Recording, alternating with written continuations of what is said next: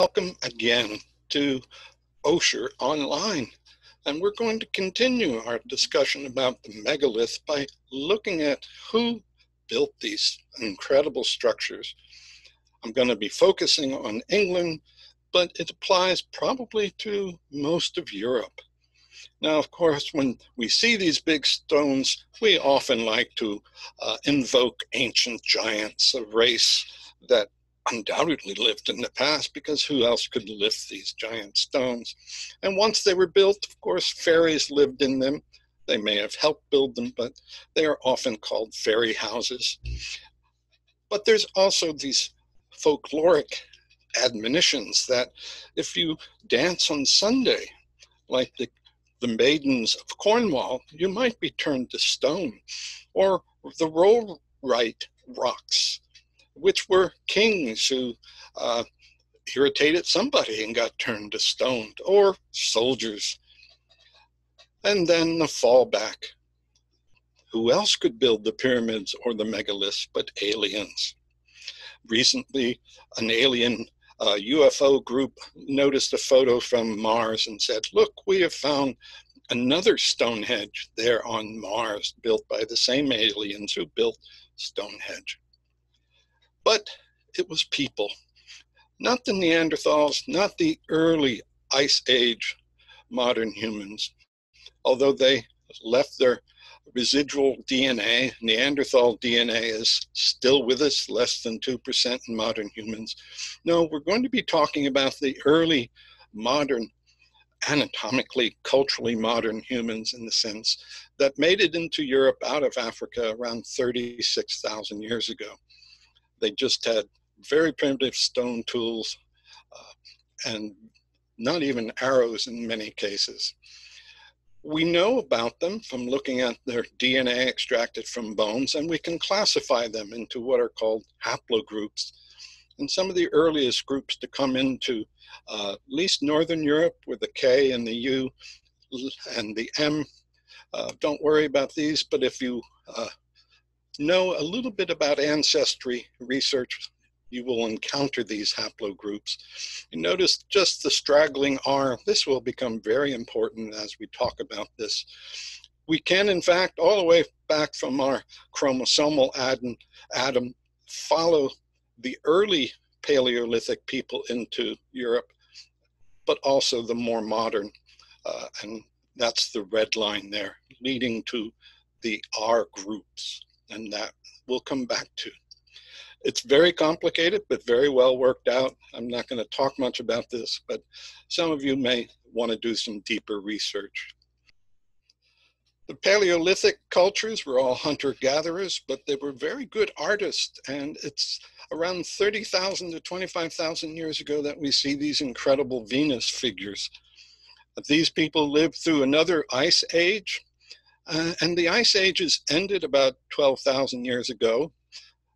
Three quarters of England was covered by ice, and the first modern, uh, what we would consider modern humans, made it into England around eight, 9,000 years ago. And this is a re- facial reconstruction of Cheddar Man, found in Somerset, uh, died a violent death, and we can put him in a particular haplo, haplogroup uh, and interesting, he could not digest milk. Dairy cattle hadn't made it here yet. He was dark skinned, dark haired, and hazel eyed. And when they did a search in the Somerset area, they found he still has descendants living in the same region. Most of Western Europe was hunter gatherers. They're broken into two cultural groups a Western form and an Eastern form. Uh, there is some agriculture and domestication of animals in the Fertile Crescent and in the Balkan area. But the megalithic Stone Age, when these big structures were built, really occurs only from 4,000 to 2,000 years ago. So, who were these builders? And when we talk about the megalithic advancement with agriculture and modern types of stone and pottery and so on. This happened in different times and different places. Uh, So when we talk about Neolithic, realize, talk about a particular area, things happen at different times because of migrations and so on. Hunter-gatherers slowly, around 8,000 years ago in Southern Europe, get replaced by farmers, then by 4,000 years ago or so, the farming actually makes it up into England. So this is called the Neolithization, coming out of the Fertile Crescent and the Levant, spreading along the coast and traveling by boat, and then eventually around 4,000 years ago into England. And we can still see remnants of this spread uh, in the haplogroup G, and they did cross by boat probably uh, into England around 4,000 years ago. These are sometimes called the Anatolian Neolithic groups because they rose mostly uh, in the Turkish area. And a couple of things, this has to do with uh, genes, specific genes.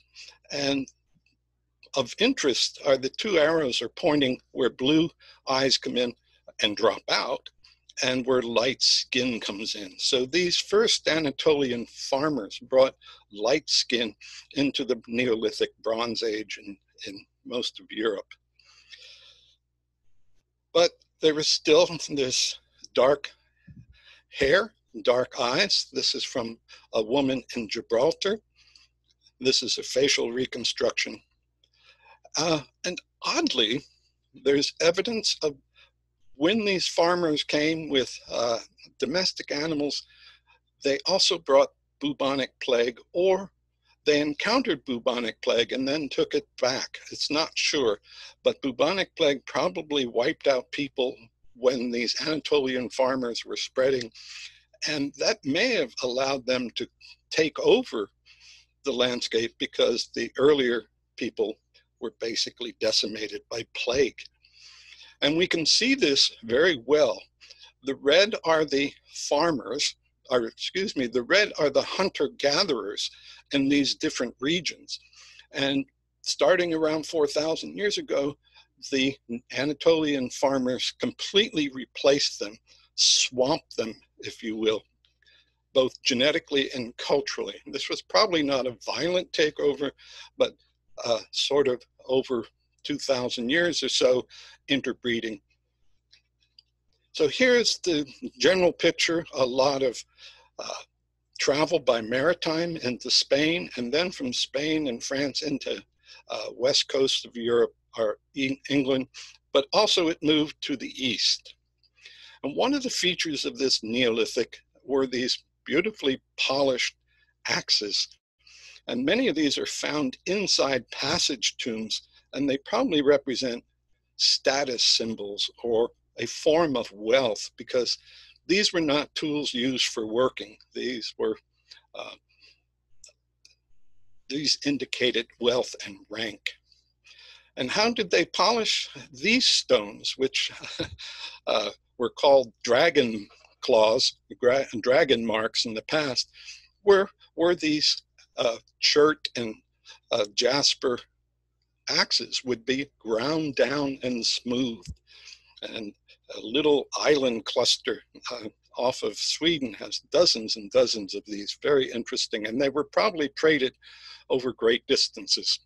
Also, flint was mined, and this is Grimes graves. And each one of these depressions was a deep pit, hard, uh, hard rock mine, and they mined mostly with deer antlers and then they would uh, hoist them up with hoists or climb up with ladders. So this is a, remnant of the Neolithic, even though it's pockmarked mines. And other features. These show up all over England, but they're especially prevalent in Scotland. And again, quite often in passage tombs as status symbols. They're called towie balls, and they are about golf ball size, but intricately shaped only by using other stone tools. These are solid basalts and sandstones and quartzites, but carved somehow just using other stones. Now, remember the Neolithic Revolution. I don't want to talk too much about that, but suffice it to say, new things came in. Potting, although potting is extremely old, probably going back 15,000 years or more in China and Japan. And there are two main strategies coiling, and then later, much later, uh, around 3,000 years ago in Sumeria, the potter's wheel.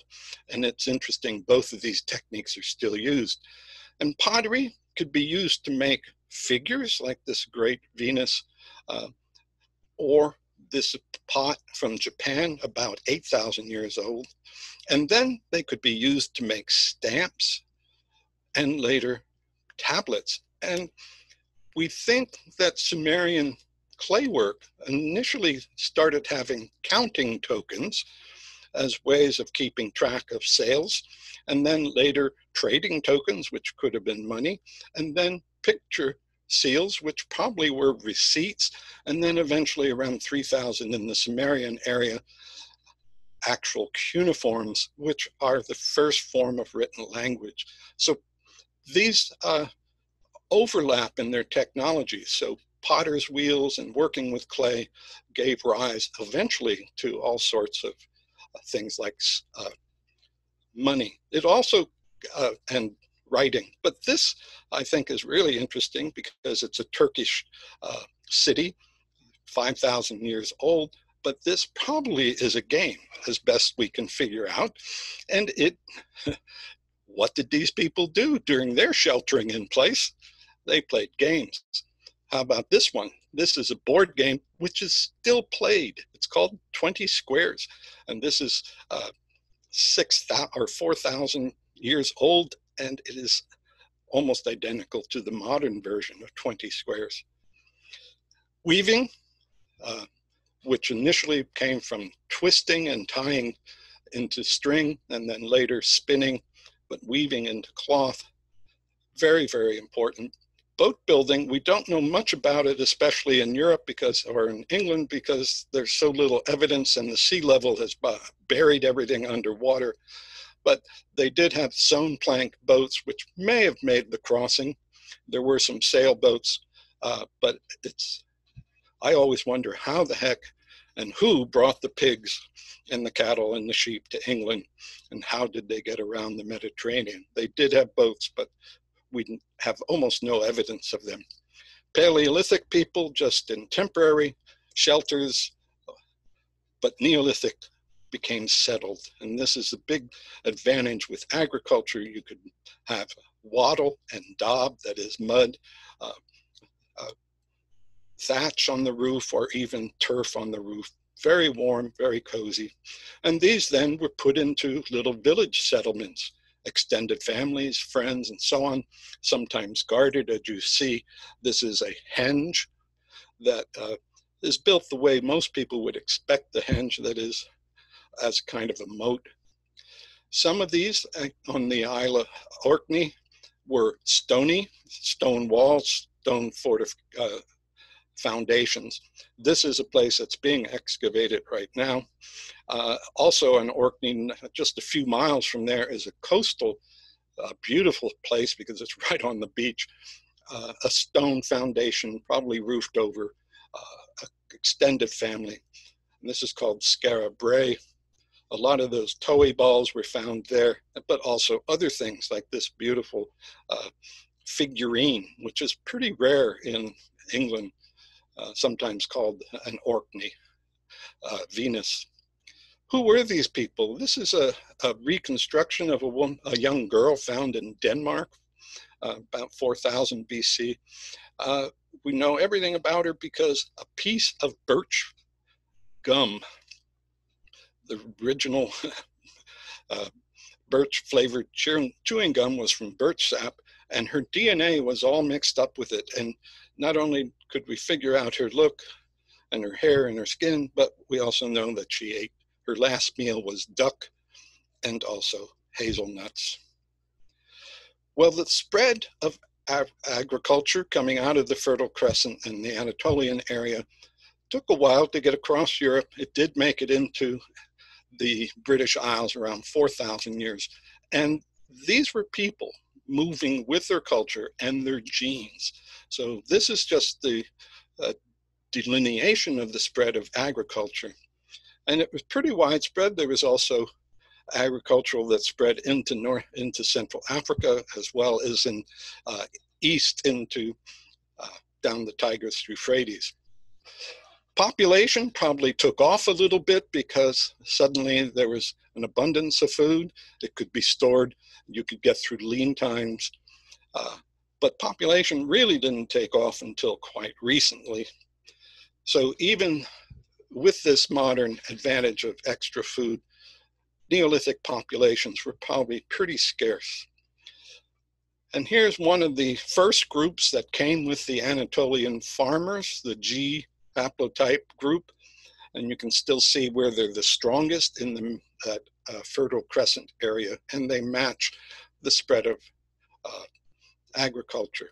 This is another group that came, but they mostly ended up in uh, Germany and also in Scandinavia.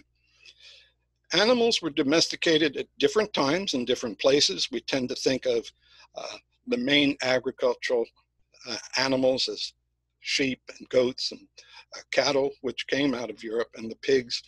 Dogs, probably 30,000 years ago in multiple places, uh, and also horses in multiple places.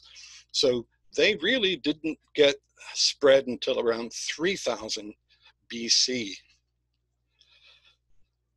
Again, the center for most of these animals was in the Anatolian upper Fertile Crescent area. It took a long time to get across Europe. And as I mentioned, the horse probably didn't make it into England until about 2,000 years ago. Pigs were domesticated in multiple areas and they traveled very well. And one interesting thing, uh, we can see that initially the pig was domesticated to a much smaller version, and today we domesticated them back to a big version. But they made it into England at least 5,000 years ago, and uh, or 5,000 BC, and they were a predominant food item, especially for celebrations. And often people would be buried with pig bones as well as deer bones. The cattle, uh, during the Pleistocene and the Paleolithic, the giant auroch was widespread, but it quickly went extinct around 8,000 years ago. Uh, it did become domesticated in Eurasia. We don't know if it lasted in England. And people have been trying to back cross it so you can get this big one. Modern cattle are much, much smaller. The spread of these uh, went east and south and west so there are different breeds and different centers for domestication. And with them, uh, especially the uh, Western cow, which was milked, there was a dairy revolution that came with the cattle, including cheese and yogurt and kefir and so on. And that necessitated an, an, a, a genetic change in people if they were going to tolerate this, because as you know, um, babies can digest the milk sugar, but eventually they lose it. But under the pressure of continual dairy based foods, a mutation occurred in the lactase enzyme, which breaks down the milk sugar. And so we see the spread of lactase persistence. If you remember the Iceman, who was a very interesting Otzi, who was found in the Italian Alps, he was lactose intolerant, but he was also a very older uh, haplotype. He was actually, his closest relatives were from Sardinia. So the modern Neolithic English people lived in villages. They did have cattle, sheep. Um, they had good housing and cooperation and probably chieftains of some sort. With the spread of the Anatolian farmers came an assortment of bling. Uh, a little too early for gold, but lots of shells, exotic shells, and uh, rings and teeth, especially teeth, were very popular to drill. And then with the Anatolian farmers, uh, there probably came a patrilineal uh, chieftain uh, kind of uh, inheritance and leadership. And the megalithic culture, which spread across Europe, but also through the Mediterranean, and explains why there is a tradition in Sardinia and Malta and in Siberian or Iberian Peninsula. This also matches quite a bit of the Celtic language and culture movement. These uh, indicate, the red dots indicate where the megalithic cultures in Europe are the oldest. So they probably spread from about 4000 BC from Brittany and uh, Iberia into England. And so the earliest we see in England really are around 3000, uh, late 3000 BC or 4000. So it was a very short lived phenomenon. And one of the initial structures that were built on the hilltops, uh, terrace structures that had a, a henge after henge after henge, which could be defensive. But then on the very top, it was leveled out, and these were probably communal uh, organization, uh, governmental centers.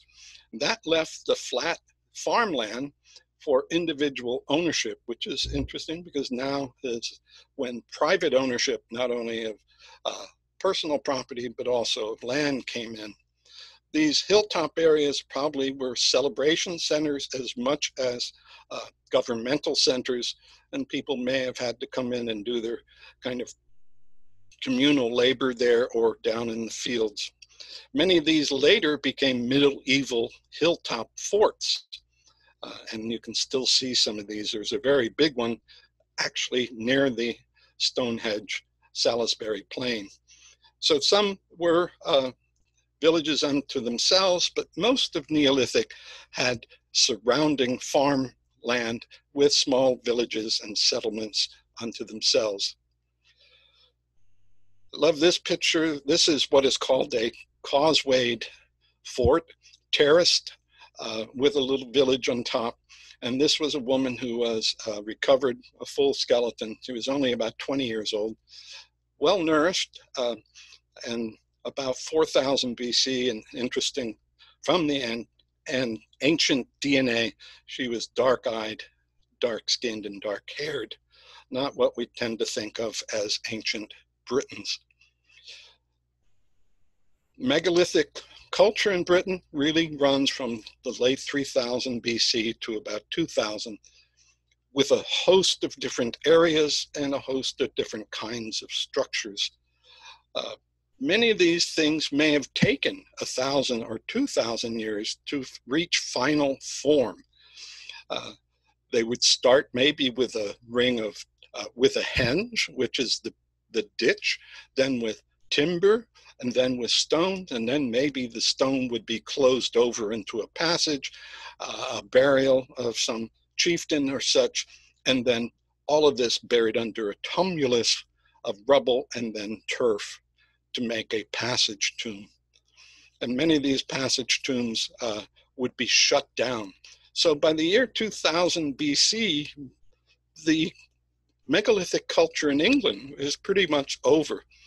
It gets more ornate. This is uh, the long uh, barrow, barrow at Kennet in Wiltshire. It had multiple chambers, and these chambers were not for burials per se, because the bones may have been uh, actually cremated.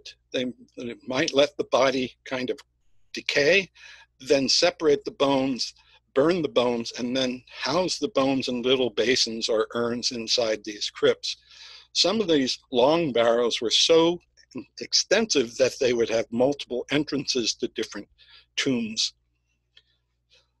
And we know these long barrows often buried uh, kin, and this little diagram shows the time. Uh, and the green are men who are related. So it perhaps relates to uh, inheritance of chiefdoms or perhaps pre-kingdoms. These weren't big enough to be city-states, but we know that kin, kinship and ancestor worship was very, very important. So the megalithic structures may had a great deal to do with ancestor reverence and veneration. Now, this is a reconstruction. Some people question it because he's red hair and so on, but uh, not far from Stonehenge. So he doesn't look Anatolian at all. He looks more uh, recent, but nonetheless, this is the reconstruction. Now comes the real interesting immigration, if you will, or cultural uh, flood coming out of uh, not quite uh, Mongolia, but Kazakhstan and the uh, Black Sea area, a culture called Yamnaya, and they made a distinctive kind of pottery. They rode horses, they had bows and arrows, uh, and they covered all of Western Europe. And they made it very quickly into England around 2000 BC and into Spain and France and actually Denmark at the same time. It was a massive sweep. They may have traded their way across, and being uh, sort of northern Balkan, they had a different look.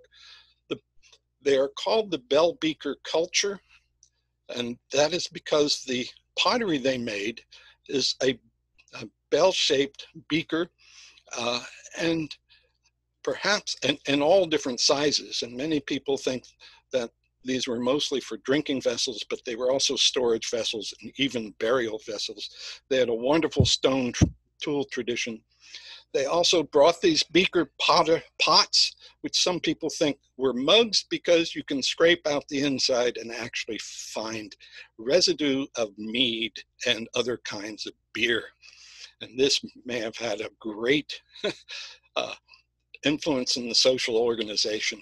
So beer didn't make it into England or across Western Europe until around 4,000 years ago. They brought in archery, uh, different kind of burial, which is very interesting because they know they did not bring megaliths. They just used uh, deep pit structures, uh, maybe with a kist that is the stones uh, forming a box. And they also brought their different genes, this unique genetic type, which is now what we call the haplotype R1b. There is a young man, interestingly, from uh, uh, a road construction site, and he was malnourished and he had eaten a lot of cereals, so maybe there had been some climatic downturns.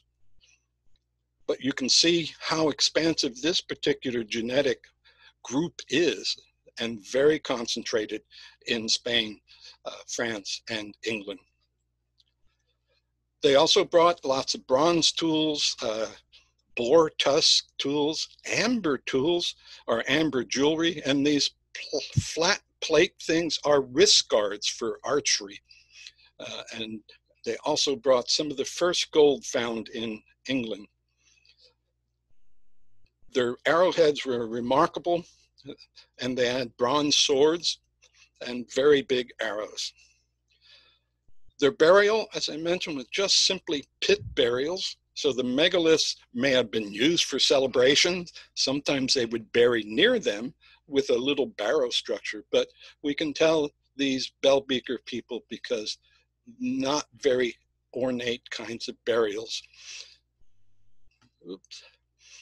This is a man actually found on the area of Stonehenge, but you can see he's buried with a beaker and he has a copper knife, he has an arrow, he has wonderful, beautiful arrowheads. And so he was thought to be a builder, but we realize that he is a recent uh, bell beaker incursion. He's called the uh, Amesbury Archer. You see all the different bell beaker pots and near nearby there's a statue of him and there's a bronze knife and some gold hair uh, fasteners. But he did not have anything to do nor did any of the bell beaker people with the megalithic construction. With them also came language. In fact everyone talks about the celtic culture and the celtic language like irish and welsh and britain there's a Breton uh, form of Welsh, they came as part of this great uh, Bell Beaker Yamnaya sweep through Europe. And there's a remnant left of the Welsh and the Breton and somewhat Irish. They did bury occasionally with barrows, but usually a pit bury, burial. This is another woman from Scotland who originally was cast as red hair and blonde, uh, red hair and pale, pale skin. She actually has olive skin and dark eyes and dark hair. But she was one of these Bell Beaker people and still lactose intolerant. So maybe dairy culture was slow to spread up to Scotland. This is another uh, Beaker burial. You can see that she's actually positioned differently and she has her mug, perhaps of mead. But the position of the burial off also differs in these people. And we can look at around 4,000 years ago, most of Europe, or England in this case, were Anatolian farmers, the first agriculturals into England. And then around 2400 BC, the Beaker people come in and they swamp all of England so that 90% of the uh, people in England were completely replaced by these Bell Beaker, Beaker people. Uh, so this is what I call cultural swamping. Uh, we can look at this and see varying uh, groups of people that came in, the farmer people, uh, they disappear, and then we see uh, a different pottery group, and then finally, and two different pottery groups, the linear bandit and the corded bandit, that doesn't matter so much, and then finally uh, the gray bell beaker, and they are the ones who make it and survive. Uh, we can see in Europe the same thing happening the Neolithic groups disappear in orange. Uh, the Western hunter gatherers are still there, but the Bell Beaker, Beaker people pretty much swamp most of Western Europe. Interestingly, this is a genetic image of Europe. It's a little hard to read, but you see on the right hand side this line of different colors. Those represent the genotypes of most modern Europeans and then scattered on the left hand side, up and down, are ancient Paleolithic genotypes, so that hunter gatherer genes still survive. Well, that shouldn't be a surprise because Neanderthal genes still sur- sur- survive as about 20% or 2% uh, modern survivors. And then we can see some of the earlier European farmers there as well. Now, one last thing that came uh, with this uh, Beaker people was a different form of megalithic structure. Coming initially from Mongolia, where these menhirs would be carved, sometimes farther east in Mongolia with deer and reindeer, elsewhere with sort of god male figures and these are called just stelae. And we suddenly see them around 3,000 years appearing all over. And they represent also the spread of this uh, Yamnaya population. And they occur again in Spain, Brittany. Uh, very few are in England, but there are some, and they even look very Celtic. And you see how widespread these stelae are.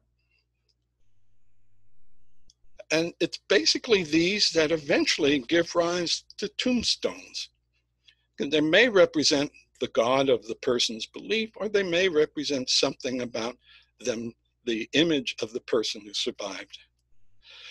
And perhaps most importantly, with these Yamnaya people, the Bell Beaker people who came across four, 5,000 BC, they brought an Indo European language cluster that evolved as they spread to uh, Balto Slavic, to Germanic, to Italic, to Celtic.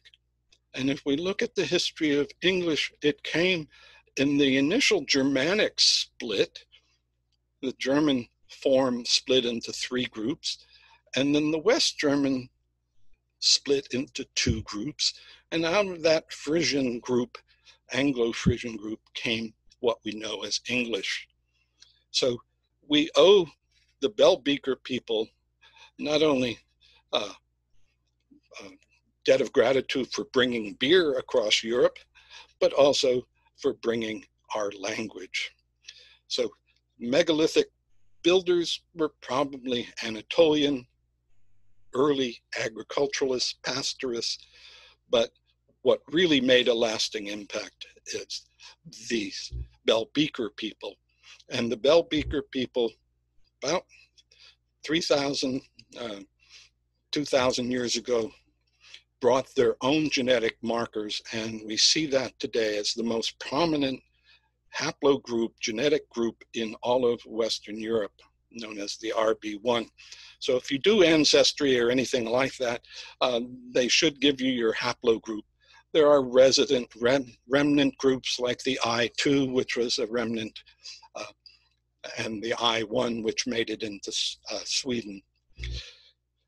So this is uh, far Mongolia, but we can see these stelae and a, uh, a, basically a burial tomb which marked them, and then also kind of curses. So here is a very distant culture way out in Mongolia, but we see megalithic elements to it. The only that only thing that made it into Western Europe, of course, were these odd stelae the last remnant of any kind of megalithic culture. So with that, we'll end and I'll see you the next time and we'll try to speculate why they were built.